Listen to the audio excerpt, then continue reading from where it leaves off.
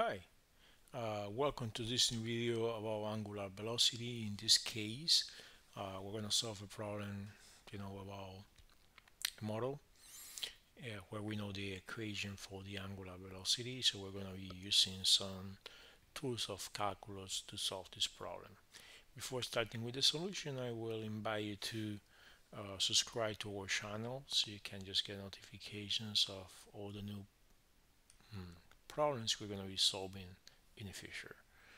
So the problem says that the angular velocity of a process control motor is omega equals 20 minus 1 over 2 t squared in radians per second where t is in seconds.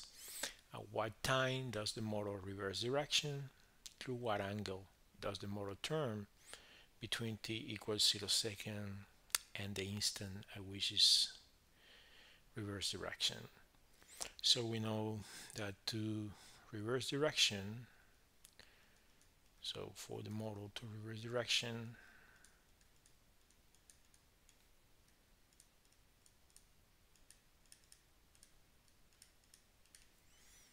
the angular velocity omega must be zero. So we're going to get the equation of angular velocity we have here that is 20 minus 1 over 2 t squared. And we're going to make it equal to 0 to find you know at what time the motor is going to reverse direction. So we can say that this would be just 20 equals 1 over 2 t squared. So 40 equals t squared.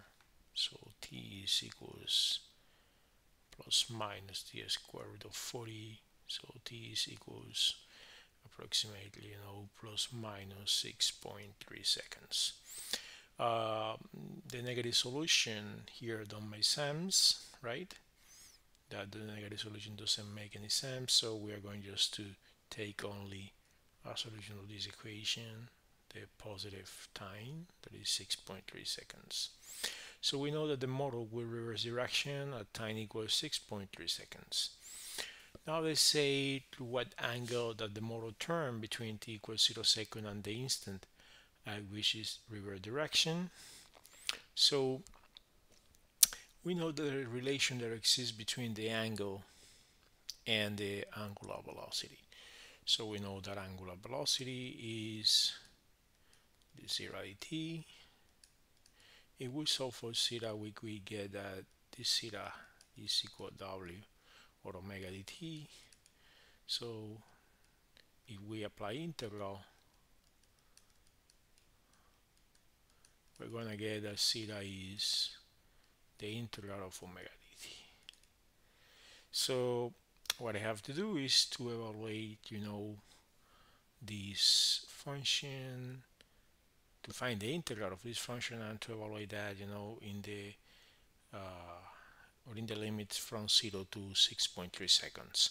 So basically I'm going to say that 0 would be the integral from 0 to 6.3 seconds of 20 minus 1 over 2 t squared dt so uh, if we find that integral we're going to get 20t minus 1 over 6 t to the third. And we're going to evaluate that you know from 0 to 6.3 seconds. So if we do it we get a zeta is equal to 20